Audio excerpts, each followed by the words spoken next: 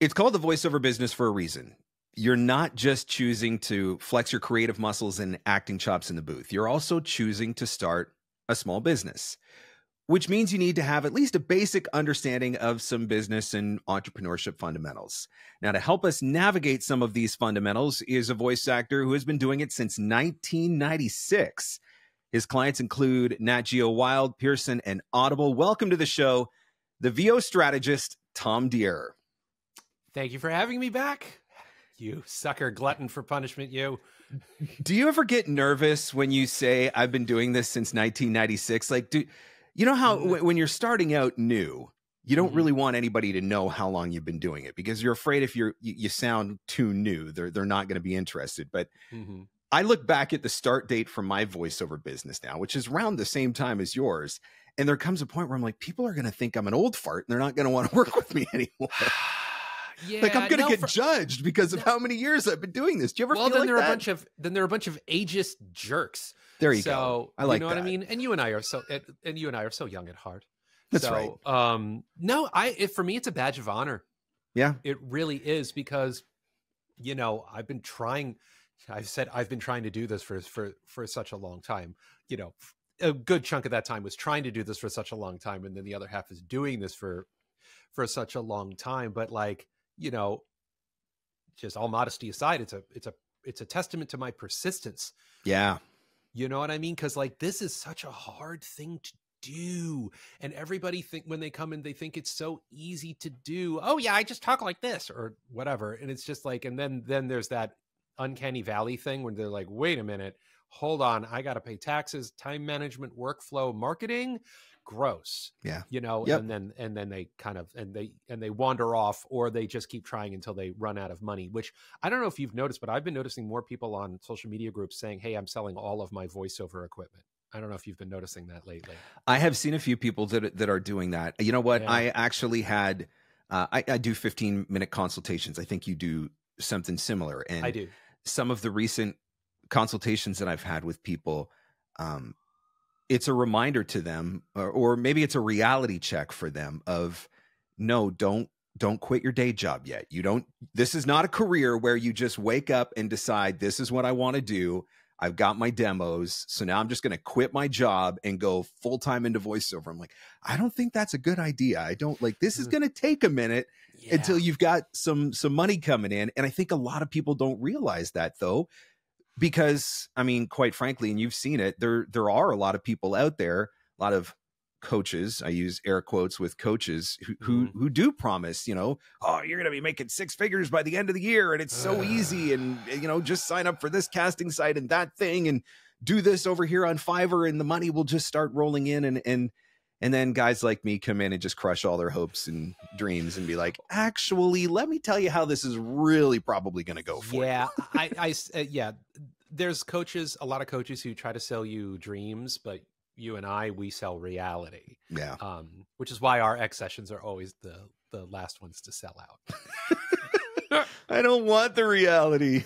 No, no, and it's funny because like again, all modesty aside, we're the things we are the guys that they need the most, but they want the least. They need they need us the most because most people in a nine to five or managerial or salaried position for their entire adult lives don't have the faintest idea what it means to be self-employed mm-hmm. much less how to self-market much less yep. to manage their own finances in a way that's not just direct deposit of their paycheck every 14 days and then get a w2 at the end of the year take the standard deduction and they're done you know? There's so many different moving parts on both a, an intellectual or systems of thought level as i like to say and then on a practical or like i say systems of execution level that it's it's crazy. It's crazy and it's and it's not and for most of them it's not terrifying at first because they don't know what they don't know Yep. You know, they're in the horror movie, you know, in the shower, just having a great time and not knowing that there's the guy with the axe slowly making their way through yes. your house, you know. I know so much more about tax code now yeah. than I ever dreamed that I would have to know back in the day. Like I was there's a part of me that really appreciates when I was young and ignorant and, and clueless and didn't need to know some of these things. But this is the reality of, uh, of of starting a business. So you know what? Let's actually start there. Sure. Because one of the one of the most important subjects that I learned about, and I wish I had figured it out 10 years sooner into my business. There's making money and there's keeping money. And those mm-hmm. two things do not mm-hmm. necessarily go hand in hand. We need to learn not just how to make money, but we need to learn how to keep the money as well. Yes. So, w- with that in mind, you know, tis the season for tax time. Let, mm-hmm. Let's talk a little bit about this distinction between making money and, and keeping money and and some of the tax things that we need to understand. Right. Yeah, there is a difference between accumulating revenue and then retaining the revenue. You know, uh, Robert Kiyosaki, who is the author of the uh, Rich Dad Poor Dad series, and if you've never read them, I strongly recommend reading mm-hmm. as many of them as you can. Is that his mantra is pay yourself first.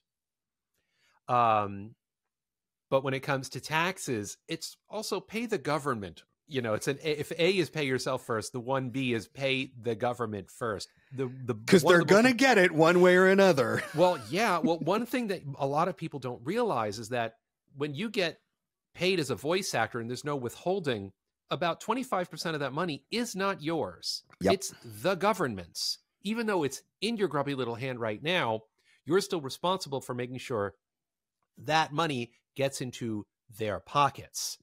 So, if nothing else, if you take nothing else away from this podcast episode, is that you need to pay your quarterly estimated taxes. Set up a system. There's a couple of different ways to do this. Um, one thing that my wife and I do is my wife's also a freelancer. So we file uh, jointly. And then after it's all done and our CPA figures out, you know, what we owe or what we are owed, she then prints out a series of coupons for federal taxes and then for state slash local taxes. Um, and based on our previous year's filings, it deter- she will guesstimate on a quarterly basis how much tax we owe. Yep. So instead of us doing the math or whatever, she literally prints out coupons and gives us, you know, printed out envelopes and we just either stuff it in the envelope or pay or we go online and we just and we pay there so that's that's one way to do it another way to do it is to just you know take roughly 25 to 30% of everything that you owe and just mm-hmm. put it in a savings account um, our friend Liz de Nesnera does a transfer every time she gets paid into her uh, credit yep. union savings account that's one way to do it. You could do it once a week. You could do it once a month. You could do it once. You could do it once a quarter. The nice thing about doing it more often is that it means that savings account has more time to accumulate interest. So you're making money off of the money that you are going to pay the government. So if you keep this quarterly estimated savings tax tax savings account intact and you keep putting in and saving, it makes money. You pay what you owe you'll yep. have money left over because of the interest you've earned. Eventually, it, it won't pay for it. It won't pay for itself, but it could go a long way towards offsetting some of your quarterly tax burden. I would rather have money sitting in my bank making interest for me than money sitting in the government's bank making money for them, which is something that I thought was really interesting because I was reading an article that talked about how people get so excited when they get a tax refund. Mm-hmm. Well, the reality is that by getting a tax refund, all that means is you let the government hold a whole bunch of your money interest free for a year, and now they're giving it back to you. Uh, mm-hmm. Uh, which is not the perspective that most people see it from, but right. that's actually money. One they of think the, they won the lottery. It's yeah. income, but it's not. That's actually one of the advantages of being the self-employed is that I can hold on to that, I can build that, I can invest that, I can do whatever as long mm-hmm. as I pay out what I have to pay out when it comes time to to pay out the the reality of my situation now is and it sounds crazy when i think of it my quarterly tax installments are the equivalent each quarter of what my very first full-time radio salary was for an entire year which is oh. both a testament to how poorly I was paid in radio in 1996. Yeah. but but also how much money you pay in taxes in in Canada. Uh, but that is not a bill that you want to get and be like, oh, surprise, by the way, you owe And that's one area where I see voice actors get themselves in so much trouble. Their business starts to take off, they're doing the things that they need to do. You know, they coached with the right people, got their demos made with the right people, they're marketing in the right way, they're submitting great auditions. Everything seems to be rolling and they're feeling great. And then, surprise, you owe X number of thousands of dollars, which you do not have because you were not prepared. Yeah. And man, that is a re and speaking as someone who found himself in that situation, you know, that is a really uncomfortable place to be. Yeah. Uh, my first time that I remember sitting in my CPA's office in 2007 um, because I went full time October 2005, which meant 2006 was my first full calendar year of being a full time voice actor. So, mm-hmm. therefore, I filed my 2006 taxes in 2007. So, that was the first time I made like more than $6,000. I think it was something like that. It's like yep. it went up a lot, you know, for all the reasons. And then he was like, okay, you owe this. And I'm like, I don't have that. He's like, what do you mean you don't What do you mean it? I owe this? and that's when I discovered quarterly estimated taxes. So that was like yep. 17 years ago. And I, um, I religiously, faithfully, consistently pay my quarterly estimated taxes every year. One little hack that I do do uh, which are which uh, I did. I'm on my second CPA. The first one I had when I was living in New Jersey, and now living in New York City, we use my wife's CPA, who specializes in freelancers because my wife's been a freelancer almost as long as I have in our respective jobs. But if we do get a refund, our CPA just rolls over the refund into our next quarterly payment. So no, we're not getting it and saving the interest, but just logistically and paperwork wise, it works a lot easier. Sometimes we get a refund so big that we don't have to pay our next quarterly estimated tax at all out of our own pockets. It just rolls over. So if that's something that interests you, that may be something you want to talk to your to your accountant about to just make things just a little less paperwork, a little less math, a little less. See, when I've got money left over at the end of the year, once the once the the quarterlies have been paid and the final taxes are done, if I know mm-hmm. there's money left over, I'm dropping it straight into my retirement account because when I put that into it's we have the RRSP in Canada. I think the equivalent is the maybe the Roth IRA. IRA, yeah, in the in the states. Mm-hmm. But now that money that just went into that RRSP is coming off of my earnings for the for the following tax year which brings my tax bill down and so that's one of the other lessons that i have learned over time but mm-hmm. again some of these lessons very much learned the hard way i'm a huge fan of from the very beginning, right out of the gate. I don't care if this is the first voiceover job that you've ever booked, just take that 20 or 30% or whatever it is from every single invoice that comes in. Don't wait till the end of the month or don't wait until you have a certain amount. Just get yourself into the habit of taking it off of every single invoice. Just build that account up because if you start out when you're if you start out in that habit when you're making no money, it's a lot easier to keep doing it when you're making more money if you do not start that habit right away, the more money that you make, the harder it gets to start taking 25 or 30%. Like you don't want to do it. You want to keep yeah. the money. You get comfortable so, with the lifestyle that it yeah. provides. Yep. No matter how modest uh, an increase that may be, you know, yeah. to see an extra movie a month or yeah, you know, whatever it is. Yeah. Or, or whatever. Yeah. No, that's, that's really important. It's just like, it's just like any other profession or vocation, building good habits at mm-hmm. home, mm-hmm. whether it's you do the dishes at the same time every day, you know, or when you mow your lawn or whatever, or when you're managing your managing your finances, building good habits. You always get rewarded for building good habits. I'll give a silly example. Um, when I was in high school or college, um, you know, I, I I'm still a comic book fan you know, I was still producing a comic book and, you know, I'm all things comics. Um, you know, when I would go to the comic book store, my mom, my mom, you know, what she would, she had a, a, credit card issued in my name. It was her account, but it had my name on the credit card.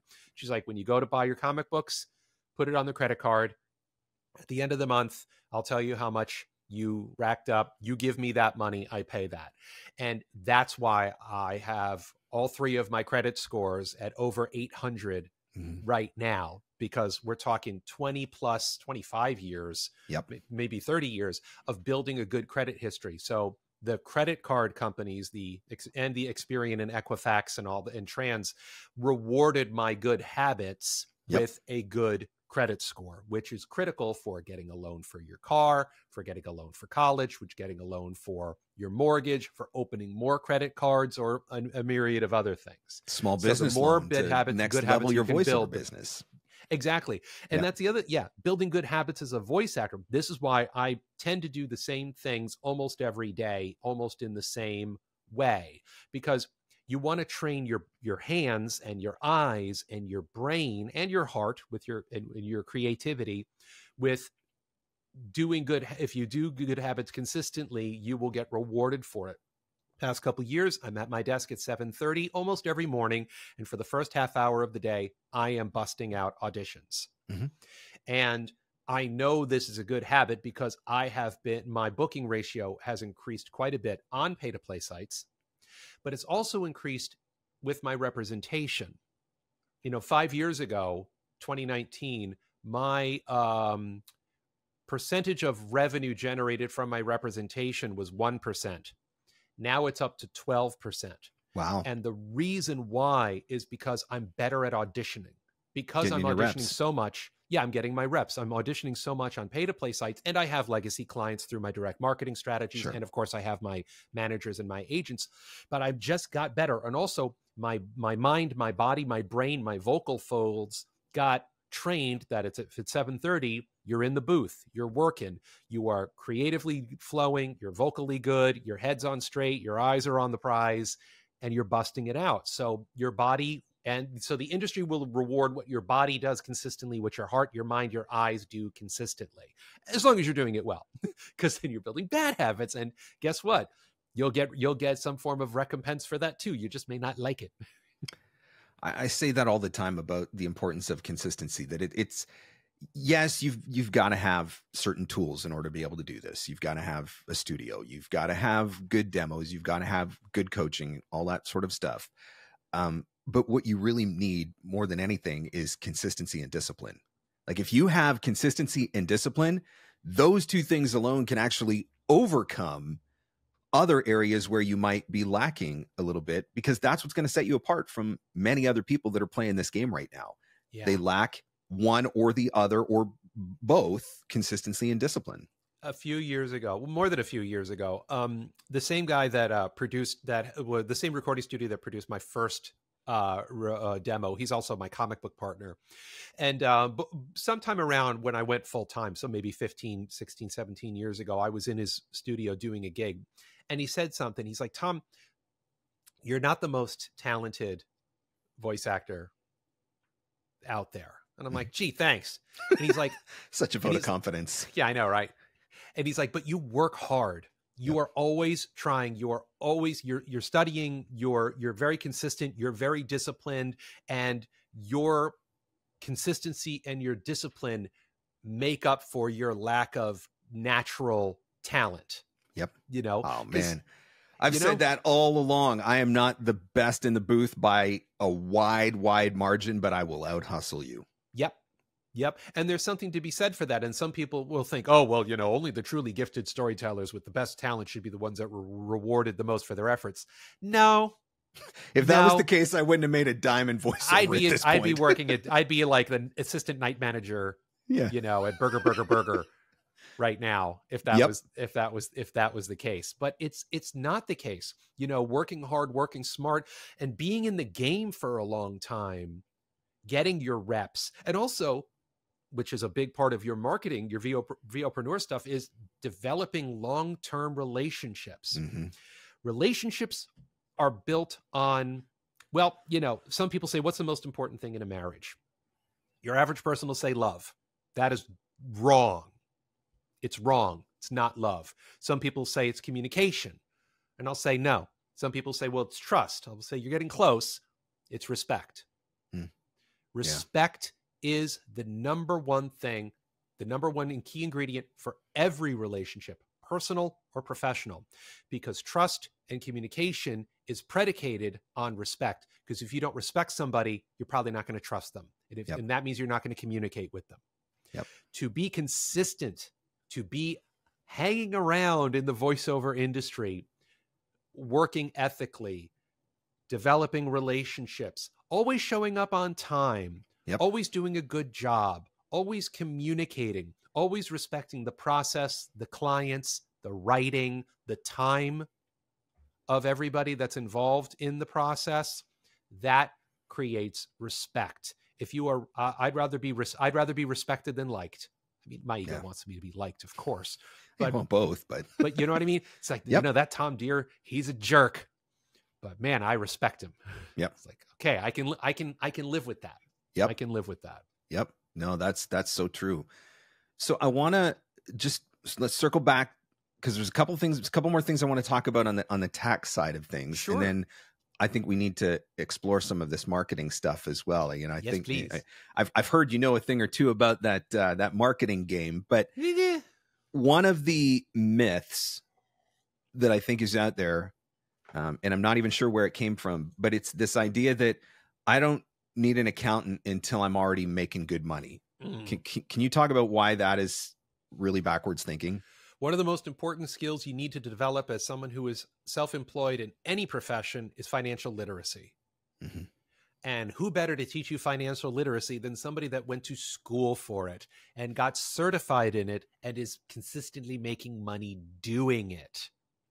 So, you know, TurboTax is fine if you get one base that one standard salary and it's consistent throughout the year. Hopefully, you'll get a raise, maybe a Christmas bonus, and then you get that one W two, and then you take the standard deduction. Yeah, I maybe a CPA is a waste of your money if you if that Right. if that's your if that's your business model, you know, or your employment status or situation. But if you're self employed, you need to understand how this works. Self employed people like voice actors get paid differently than nine to fivers. Yep. And they get taxed differently than nine to fivers. Because if, you know, also, and if you're a nine to fiver, like if you're not a nine to fiver and you're self employed and you're not incorporated, for example, you're paying self employment tax.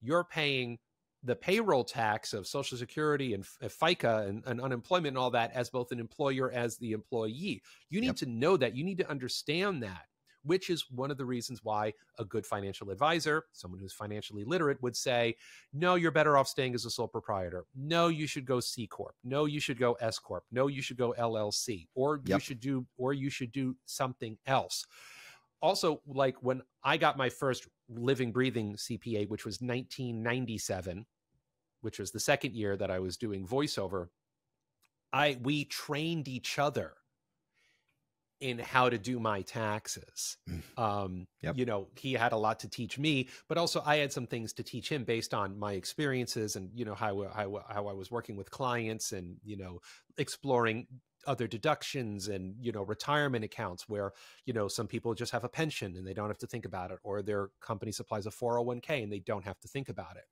i've had to build my all of my iras my sep ira my hsas i've had to put put that together not all by myself but with the help of a good cpa with someone who is financially literate so yeah it may cost a hundred dollars. I mean, we're paying a lot more than that now because we're filing jointly. We're both self-employed. We throw like a ream of 1099s at our CPA. There's a lot Yep. of bells and whistles and expenses and deductions and whatnot, but it's worth the money because also you should be able to write off that because you are subcontracting. You're subcontracting. You're outsourcing work to a CPA just as you would outsource audio uh, editing to an editor or you know Rob Sciglimpaglia to read that contract for you. Those are all or someone who's building a website for you or helping you with your social media. These are all people Yeah. that you're outsourcing stuff to. Those are all tax deductions. So it's I can't cannot understate the importance of developing financial literacy as early as you can in your career by working with a competent financial advisor. One of the most expensive seasons of your voiceover business is the early season of your business when you're mm-hmm. starting out. You're putting out money mm-hmm. for a microphone, for an interface, for a computer, your website, your domain, your email. You're getting a logo designed and you're getting business cards printed and you're doing your coaching, you're taking classes, you're getting demos produced. Like you're just forking over cash like crazy. You know, I, I did an episode recently with Patrick Kirchner. We talked about, you know, 15 to 20,000 in startup costs really easy. Yeah. You want an accountant when that's going on because in all likelihood, a good percentage of all of that can actually be written off and you can actually operate your business potentially at a loss which can actually help you out you know again coming back to making money versus keeping money right and i think right. that's where a lot of voice actors miss the mark because they think that they don't need the accountant until all the money's coming in and i'm saying no no no get the accountant in the beginning when all the Yeah. money's going out Absolutely. And also, you know, you can get for the first few years, you're probably going to take a loss. Mhm. Um, but at least in the United States, if you take a loss too many times in a row of a certain amount, then IRS is going to classify you as a hobby. So your voiceover career may be over, which a CPA can help you navigate that. Yep. Also, you know, you buy a 416. Do you write uh, do you write that off as a business expense up front, the full cost the year that you buy it? Or do you go with the whole depreciation thing? Yep. You know, and the answer is different for different people. You know, hey, what's the square footage of the desk that I'm sitting at and the booth that I talk in?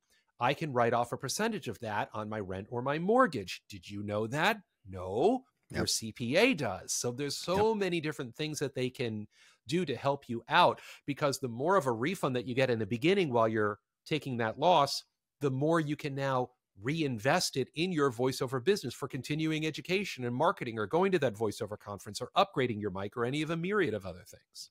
Yeah, I mean the conference you said there, right? It, are you flying to Atlanta? Did you buy a ticket to VO Atlanta? Are you staying in a hotel at VO Atlanta? Are you eating meals while you're at VO Atlanta? All of these things are potentially write-offs, which is why it's so important to have an accountant. So I'm curious what your thoughts are. Obviously, I think that we want somebody that is geographically, you know, because rules vary state to state, country to country, etc. So you want somebody who's familiar with the tax, with how everything applies in your state or in your region. But do you need a voiceover specific accountant? Um, voiceover specific, not necessarily, um, but there are CPAs who have extensive experience, if not specialized in just working with people who are self-employed. Yeah. So that's why it was such an easy, um, such an easy thing to do, just to, for me to just start fi- filing jointly with my wife and going to her CPA because she's been going with that CPA who specializes in self-employed people here in New York City for 25 years. Mhm. So yes, but again, like like I said, when I started working with my CPA in 1997, it was in suburban New Jersey. He had limited experience. I was going with him because my mom has been going to him for years. So it was just like, okay, I, we trust this guy. He knows what he's doing. So, like I said, I had to train him a little bit. He had need to educate himself a little bit. And there's nothing necessarily wrong with that. But all things being equal, you'd want somebody who is specialized in self-employed. Right. So if you're if you live in the New York metropolitan area or the LA metropolitan area, Miami, Dallas, Chicago, Yep. Toronto, um, finding somebody who specialized in that is probably not going to be terribly difficult. But I do have a website that I'm going to tell you about. It's for the National Association of Enrolled Agents. Okay. It's www.naea.org. That's naea.org. You can search for financial advisors through that website. So Okay. you can you can geolocate, you can do targeted searches, and there are reviews there. And you can also find out what exactly are they certified in, what do they specialize in. Um, the best way, that's a good way. The best way is to ask your fellow voice actors who live in your geographic area. Word of mouth is, you know, it's tried and true for mechanics and, you know, and, and CPAs. You know, who It's do you true. work with? Who do you recommend? And I've never heard of a CPA who's turned down business or who has been ungrateful for a, for one of their clients recommending them to somebody. So that's like that's the single best way. But if you can't find anybody through word of mouth, using the NAEA website can be a big help. Okay, and we'll make sure I'll I'll get that put into the show notes. I I, I wrote that one down. Now, my accountant is not a, a voiceover accountant. Didn't really know anything about voiceover until he started working with me. But he was familiar with small business and and you know kind of the the self employed side of things, and so that was a a big difference. Let me tell you something. You want to know how the rich stay rich? It's because they figured out the tax code. like, uh, let's be honest. Like that's that's what's going on, and so figure this out because you could probably be keeping more of your money than you realize and and that's a big part of the game. That's that's how you build wealth. That's how you grow your business. That's how you have money for that next reinvestment or wherever is is figuring some of this stuff out. So on the marketing side, let's go Mm-hmm. there now because I I know you know a thing or two about this. There's there's there's guys out there that are talking about email marketing and social media marketing and all this boring stuff. You know, there's Yes. some guy that's done a thousand podcasts on all, all of that stuff. So I'm curious to hear, put those aside Okay. because everybody's talking about those. Put aside email, put aside social media. What should we be looking at in 2024, in the opinion of Tom Dheere, the VO strategist, for some some marketing ideas that are that are a little bit different than what we've always done? Well, this everybody hates me when I say this, but pay to play sites. Mm-hmm. Okay, Pay to play sites. expand. Okay. So, and and again, and Mark and I have had this conversation many times. And yes, I I do teach direct marketing. I use direct marketing strategies, but also I am aware of the realities and intricacies of the voiceover industry as currently constituted. You know, wait five minutes, it may it may change. Also, based on where you are in your voiceover journey. So, this is advice that I give to a lot of my students: is that pay to play sites can be a great marketing tool. How Mhm. can that be a great marketing tool? Well, the single most important skill that a voice actor can have is project management. Project management is everything that happens between the moment that the casting notice hits your inbox and the moment that the check clears. If you can't or won't master project management, you are useless as a voice actor and I don't care what the source of the casting notice is. If you don't know what it's time to do, what is what you need to do when it's time to press the red button, you're just a useless voice actor. I don't care how talented you are. Mhm. Uh, your talent will book you your first gig with a client. Your project management skills will book you your next gig with Ooh, that like same that. client. That's good. Okay. Yep. So, why do I say all this is a marketing tool? Because, and Mark knows this, there's a difference between value promise and value delivery. Both are integral parts of your marketing strategies and tactics. Mar- value promise is hey, this new restaurant has opened up in town. You know, it's a Mexican restaurant, and there's like, you know, the there's you know, there's little flags outside, and there's a you know a dancing tamale, and buy one get one margaritas for the first fifty guests or whatever, and that's all value promise, right? Yep. Then you walk into the place, and you see how long it takes you to get a table, and is the water glass crusty? And what does a mm. bathroom look like? How long does it Yep. take for your food to come out? Is the food hot? Is it was it ordered correctly? Is it fresh? What happens if there is a problem? How do they handle the problem? That's value delivery. This is the thing that most voice actors don't it doesn't even occur to them that value delivery is in some ways, well, you can't have one without the other. You can't deliver a great product if no one knows you exist.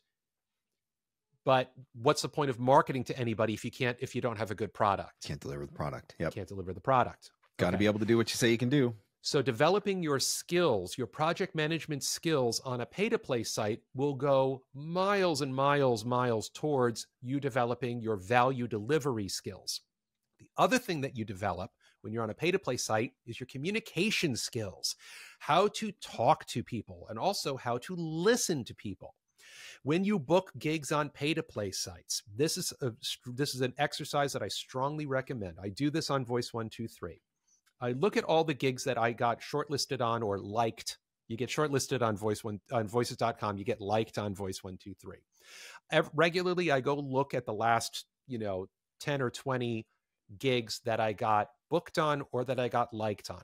And then I go look at that casting notice. And I look for the keywords in the casting notice. What were the keywords in the casting notice that got it into my inbox, which I booked? So, for example, one of my number one keywords is upbeat. That's a big one. So, guess what term I should use in my marketing materials? I'm a friendly, energetic, upbeat guy next door voice actor. So, when you're crafting your direct marketing emails or you're building your social media profile and content and you're cra- creating your website, you need to know what the industry is telling you. I don't give a crap what you want to do in voiceover. I don't care because the industry doesn't care. Yep. They care what you can book. Yep. You may not be good at what you like. and you may not like what you're good at. That happens all the time. So true. So true. All the time. I thought when I came into the voiceover industry that I needed to sound like James Earl Jones and do commercials. Do I sound like James Earl Jones? Not quite. Not, Not quite. quite. There's Not I'm- um, quite. there's still hope, but Is it? Yeah, but I don't hope anymore. I used to hope, and now I don't want to be James Earl Jones. you find him. your niche and you build it and you and own my it. niche and right and my niche the industry told me my niche was e-learning and Yep. explainers and corporate and medical but guess what last year was my highest percentage of voiceover revenue being commercials. Why? Because i've just been getting better at it. I've been getting my reps in even more reps because i used to disqualify myself from commercials because i can't do them like james earl jones and my commercial sound my e-learning sound does not translate to my commercial sound most of the time and vice versa. But being in this industry since 1996 and having the ability to listen to myself and listen to the industry listen to me, I have figured out, well, what's my sound? What's my money? What are my money voices? I can't do sportscaster. I just can't. I can't. Me you know. I get these auditions for sportscaster. I cringe and every time I get it, one. And I sound, I'm just like, ah, jeez. You know what I mean? And is it worth for me to get training to just to be able to do sportscaster type auditions? No. I get so much work doing so many other things. So, yes, marketing, your key to marketing in 2024 is get on pay to play sites, spend as much as you can, audition as much as you can, and use the and use those algorithms of those pay to play sites to tell you what your marketability is. And then you could take that marketability and use it to get representation and use it in your direct marketing.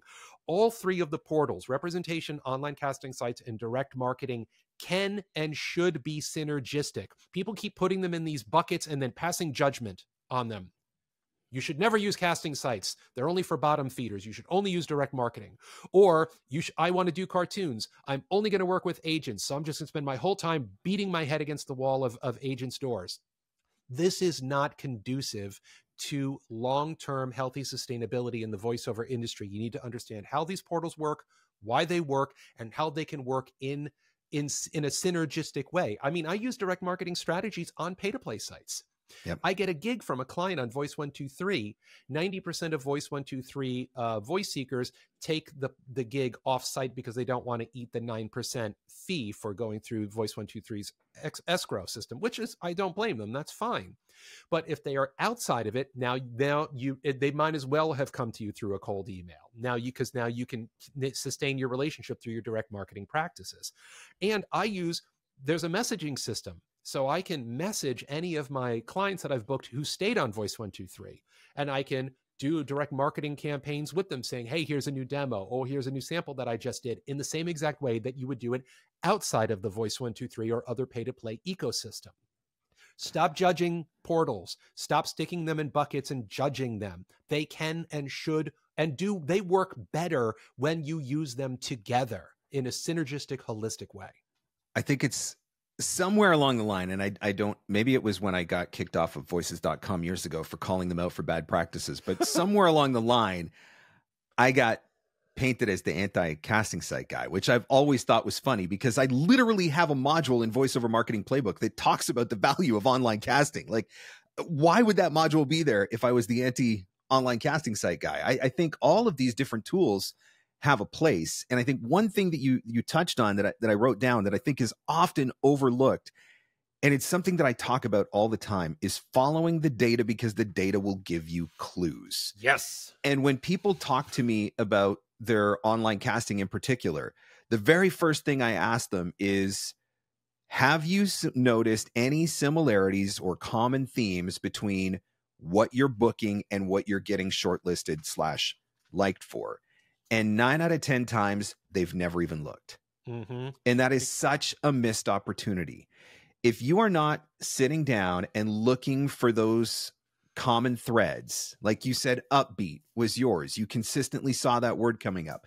I'm telling you, do the same thing. What are the consistent words that come up? Is it conversational? Is it authoritative? Is it a, a, a particular description uh, description of of this you know we're looking for this type of read or do you consistently get a, a certain celebrity reference? Whatever it is find those things because that is going to give you clues for how to fill out your profile better getting different you know getting better keywords on your profile. That is going to give you clues for copy that you can include on your website that is going to give you clues for content that you could create for social media that is going to give you clues for things that you could put into email marketing because those are the indicators that you said the industry is saying look this is what we think you're good at because you keep seeing those things coming up and i just feel like that's one of the areas where people miss out is they're not paying attention to the data and it's right. not that hard to go back through your bookings or your short lists on a casting site mm-hmm. and look for some of those things yeah the spreadsheet that i have been using religiously since you know the mid 90s it has columns and one of the columns is you know i have like a little code re for representation oc for online casting uh, SM. I've evolved DM from direct marketing to SM for self marketing because there's direct and indirect marketing, mm-hmm. and I try to break it down a little further than that. So, like if I cold email somebody, it's it's direct marketing. If someone finds me on finds my website on Google and says, "Hey, we'd like to book you," that's indirect marketing. But I'm like, you know, I'm splitting hairs. But also the genre. So, what genres am I booking? What portals yep. am I booking? And how did how did that ultimately come to me? So for me and Tommy loves his spreadsheets and he loves his formulas. So every time I enter a new line in my spreadsheet, I've got a little a little report, live report on the side, and it tells me exactly what percentage of my voiceover money is coming from which genre and which portal that it's coming through. So I know exactly how my marketing and my auditioning efforts are doing. So data is, I mean, it's a, it's everything is a numbers game. Follow the, because you said before, follow the data, follow the tech, but you know, use the data, use the tech to your advantage. There is no reason why you can't go to vostrategist.com, subscribe to my blog, horrible blatant sell, and then you get a free zip load file, a zip file of all these free downloads. And one of those is those expenses sheets with those formulas. And you just type everything in. I've done it all for you. You type it all in and it spits out your cost benefit analysis right yep. there for you. And it's free. And you do that I guarantee you will make more money as a voice actor because you will not know just what more to do in your voiceover business on a marketing level, but what not to do on a marketing level. Because i'm sure you've you've seen you've you've heard the you, you yourself as a voice actor has had this challenge but it's like when do i stop blogging? When do i stop using instagram? Uh, when do i stop using it this way and try using it that way? Well there are numbers that can tell you those yep. things. There was a probably a five or six year stretch where i literally branded myself as the explainer guy because I bet you 75% of the voiceovers that I was doing was explainer. Like almost every day of the week, it felt like I was in the studio voicing explainers, which is never what I set out to do.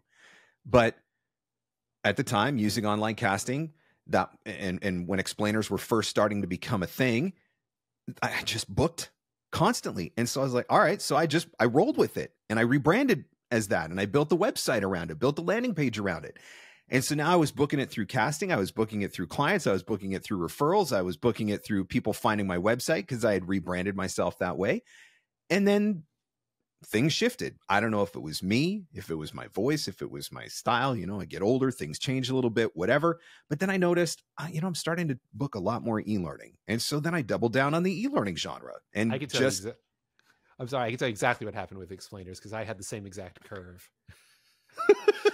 I, had the exact same curve. 2012, right? 2013. Yeah, it was it was around that area. Yep. Yeah, yeah. That's um. It's funny because I'll tell you the I'll tell you my explainer story. So, got back from uh, you know FaffCon, the unconference of song and story, and Amy Snively, our golden goddess of FaffCon, you know, gave us all homework and exercises, and one was to explore a new genre. Mm-hmm. So I was like, okay, I don't know. Maybe what I want to do, this or that, and the other thing. And then I started noticing all these casting notices started having the word explainer in it. And I didn't know what it meant. So I reached out to my webmaster at the time. I said, hey, could you do me a favor? Do a little research on what explainer videos are, and more importantly, which male voice actors are marketing themselves as an explainer video, as explainer video narrator. This is 2012 or 20, this is late 2011, I think, or 2012. And they came back and they told me what explainers are. And that's when I realized that I had already narrated 35 explainer videos but I didn't know what they were. Some of them I put in the commercial bucket, some I put in the corporate bucket. They just hadn't called them that yet. Right. And do you know how many male voice actors were marketing themselves as explainer video narrators in 2012? One.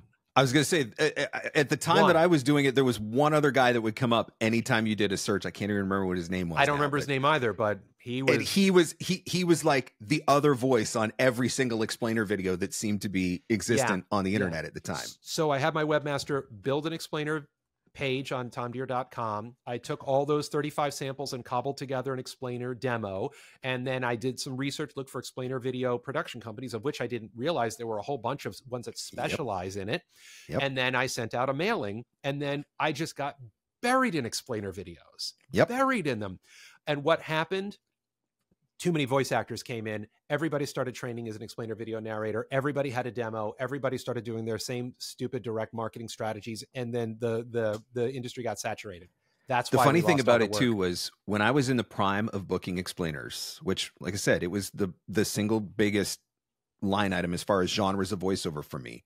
I didn't even have an explainer demo because at that point it was the genre was so new nobody was creating them. So i was literally every six months i was just making a demo from the projects that i was voicing so that it was always refreshed it was always it was always current. But i rode that wave for probably five or six years and i wouldn't have done that if i hadn't been paying attention to the clues. If i hadn't been paying attention to these are the keywords these are the descriptors that they use for this explainer genre you know they're constantly looking for this particular type of read and then I just built a marketing strategy around that. And then when the shift happened for me, where it started to go more into e learning, then I did the same thing and started building strategies around that and, and mm-hmm. focusing my business in in that direction. But it, it comes from paying attention to the clues and and the data points that are out there. And there's so much information to be gleaned from what you're booking and what you're getting shortlisted for. And that to me is one of the biggest advantages of online casting is is because it gives you so much more of a larger data pool to draw from to go back and, and find all of that information. One of the most important skills to have as a voice actor is to be a good listener and i don't just mean taking direction when you're in a recording session. It's listening to the industry not just you know with your ears but with your eyes and your mind because there's lots and lots of data out there that can tell you so much can inform you again of what to do or what not to do how to do it or not to and why you should do it or why you shouldn't do it. It's it's yep. there for you. It's there yep. for you. So earlier you talked about we, we were talking about consistency and the importance of consistency. You mentioned you know every day i'm in the booth at the same time. I'm there at 7.30 i'm doing my auditions. That's the very first thing that i did. Mm-hmm one of the most common questions that I get asked is how the heck do you manage to do all the things that you do? Because obviously I've got a lot going on between the voiceover, the coaching, the podcast, the live streams, all this sort of stuff. And I know mm-hmm. you you are doing multiple things as well. So talk a little bit about time management and other than you're you're in the booth every morning at 7:30 and holding on to that is your is your calendar a, a, series of time blocks where you're consistently just working on this part of your business at the same time every day? Do you base it off of different priorities? How, how do you plot out what your day looks like so that you can get done everything that you've got to get done in a given day or a given week? Fantastic question, Mark. Um, the macro, well, the the macro of it is research and preparation when it comes to writing your annual business plan and then writing your monthly action plans. So, my best time management tool is this monthly action plan that I have here, which is another free template you can get if you subscribe to the VO Strategy. We'll, we'll link it in the show notes. Yes, thank you, so. Or I'll edit this whole part out. No, we'll yeah, definitely link it. We'll definitely link it in the show notes. that's fine. I'm way too hawky this this uh, this time I'm on your show anyway. So I think I, I think I've got some comeuppance. Um, but um, so it, it it runs twofold with the macro of knowing everything I need to do this month, and then reconcile that with the stuff I need to do today. The stuff mm-hmm. I need to do today are auditions. First thing in the morning. It's mm-hmm. I can't think of a day where I haven't had at least one audition to do in the morning and then after lunch there's usually like another batch of them coming from uh, client regulars or representation or just another round of uh, online casting site auditions um, I, it's a lot about understanding where are you when and when are you at your best physically Yeah. vocally Yep. and knowing when you're at your best creatively this can be Yep. one of your most valuable time management tools back when i was a lazy bachelor i would just be like oh i can't audition before 10 a.m my voice isn't warmed up i just didn't feel like doing auditions before 10 a.m you want to know what vocal warm-ups i do now Stop convicting me, Tom. Sorry. Making me feel guilty. Sorry. Am I making you feel guilty or are you making you feel guilty? Um, Oh, I am Uh, so not a morning person. well, I mean, when I decided to be a full time voice actor, I decided my alarm would go off at 8 a.m. every morning. And it did because I worked nights and weekends for my entire adult life until the time I went full time as a voice actor. Um, so my alarm went off at 8 a.m. So that's also another one of the most important time management tools is make sure your alarm goes off at the same time every day and that you get a good night's sleep. That's your biggest time management tool. Macro is knowing all the tasks you need to do every year, every month, every week, and every every day. Understanding when you're at your best vocally and when you're at your best creatively. So vocally, you know, some people aren't at their best in the morning. Well, then figure out some vocal exercises, drink tea, hydrate, do whatever you got to do. You know, um and it- for creatively, for crafting your direct marketing emails, for creating your social media content, when are your juices flowing the most? Mhm. So take a few weeks and log when you're feeling the most motivated to do stuff and when you are the most effective in when, when you're doing stuff. And then take that and go, okay, I'm vocally at my best at, you know, two in the afternoon. Okay, well, that's not ideal, but if that's when you're vocally at your best, maybe save your most challenging auditions for that time. You know what I mean? As opposed to like the laid back millennial conversational thing, maybe stuff Yep. that requires a little more, a little more intensity. You save for that, uh, but you're at your best crafting social media posts at nine o'clock at night when you're binging Netflix and you're just on your phone. Maybe you're getting creative inspiration from the show that you're watching and it's informing your social media content or not. You know, that's fine. Yep. Figure figure that out. Develop figure out what works best for you mentally, physically, and you know, creatively, energetically, emotionally, psychologically, organizationally and turn that into like the scaffold of your day in which you can kind of drape the day on it because am i at my desk at 7.30 every morning to 8 o'clock doing five to eight auditions no you know sometimes i'm up at five because the cat woke me up you know sometimes you know sometimes i had trouble sleeping the night before because of the cat so i'm not at the de- at the booth until nine you know that's fine but knowing that like i've got these like bars that i can hit vocally creatively you know i also like tom dheere needs to have his balance pa- balance checkbook balanced he needs to have his credit card bills paid and he has to need to ha- and he needs to have all of his invoices either generated or reconciled before i can do anything creative because i will get distracted. Yep. you know? So learning what your limitations are what your what your what your physical and mental preferences are and what your physical and mental limitations are and then just work your day around that. It's that's what's worked for me. So my day is not your day but you got to find the day that makes you be the best version of you that you can be physically mentally emotionally creatively psychologically It's so key. I think it's funny because I think there's a perception, and I've probably partly created this and not intentionally, that I work 24 hours a day because I post very often late in the evening. I'll be in the office or sometimes through the night or or whatever. I'll post, and and so people just have this perception that gosh, this guy just goes 24 hours a day, seven days a week or whatever. But no, the reality is, a lot of days I'm out of the office by two or three o'clock because I go pick up my kids from school, and then I you know will hang out with my kids a little bit after school or you know make dinner with the family or whatever but then lots of times i'll come back into the office at nine o'clock at night after they're gone to bed or they're winding down their day or whatever because i just figured out a long time ago that that's when i tend to be at my best for creative flow. So mm-hmm. if i'm working on a course you know working on a coaching thing that i'm doing or something like that that's happening between 9 p.m and 3 a.m and it's not specifically because I love working from 9 p.m. till 3 a.m., but it's because I know that I could do the whole thing between 9 p.m. and 3 a.m. because that's just when I hit that flow.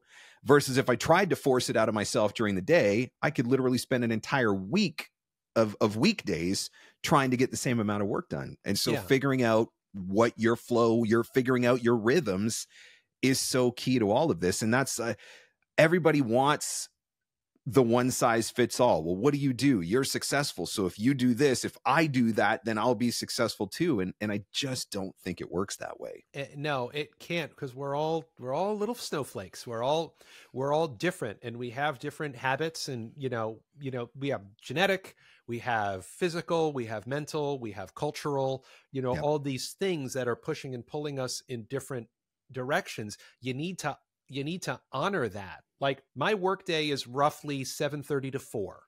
That's roughly my work my work day. And I take an hour for lunch from 12 to 1. I take a lunch and I take I take regular breaks. I walk around, yep. you know, I stretch my legs, I'll have a snack, you know i'll hang out with the cat or whatever and then i'll be like okay and then i get back here of course i've got all i've got podcast interviews and i've got sessions with yep. voiceover clients and i've got sessions with my students which kind of you know make a wonderful lovely fabric test you know uh, tapestry that is that makes every day different and special you know but finding out what works for you and what doesn't work for you but knowing you got to get all this crap done and if yep. there's certain things that you just absolutely just are vehemently opposed to doing you better learn how to outsource it Yep, hundred percent. So we we've touched on this a couple of times. I understand that maybe you've got a website where we could go where possibly there's a resource or two that we might be able to download or, or something about that. Why don't you why don't you fill in the blanks on this VO strategist thing, Tom? What what what can we do and what can we find out and and what goodies are are waiting there for us? Well, there's some stuff. There's some stuff. All right. Well, um, uh, I encourage everyone to go to vostrategist.com.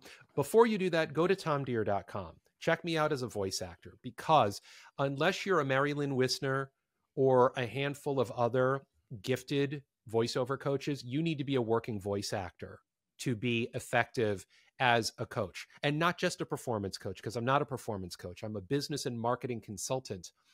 You know, you need to understand exactly what's going on in the industry. So I encourage you to vet me at tomdheere.com. Go to YouTube and check out some testimonials from from current and former students as well.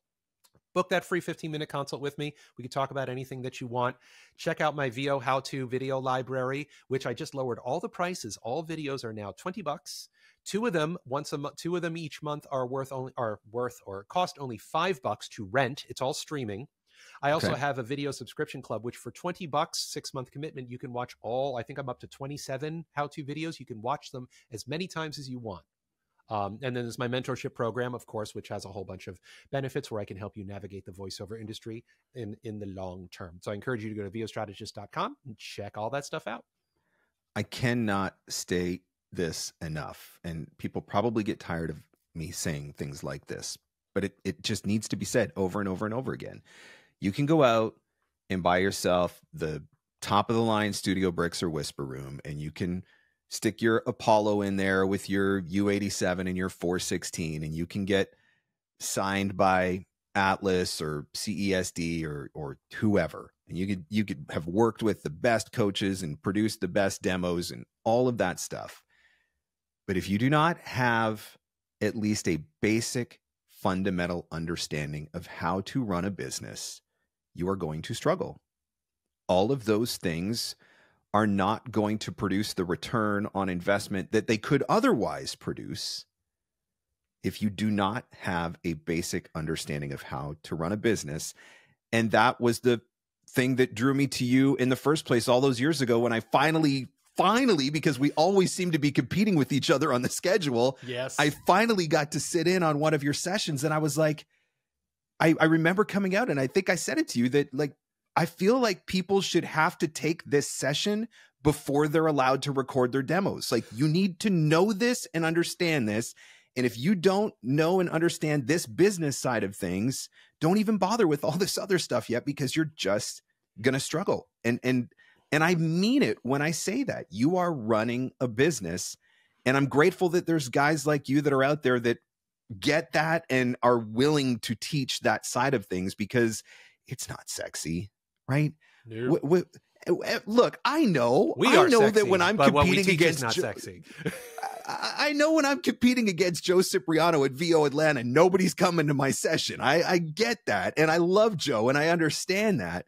But just know that at some point, you're going to need the things that we have to offer. You're going to need these resources that Tom has to offer and, and this type of consulting and and strategizing that he has to offer because those are the things, those are the fundamental building blocks they're going to get the the WhisperRoom working that are going to get that Neumann making money that are going to get those agents going even in further for you. So thank you for being around to teach that. It's my pleasure, and thanks again for having me back on to uh, to share and commiserate and uh, and teach your uh, loyal group of amazing voice actors.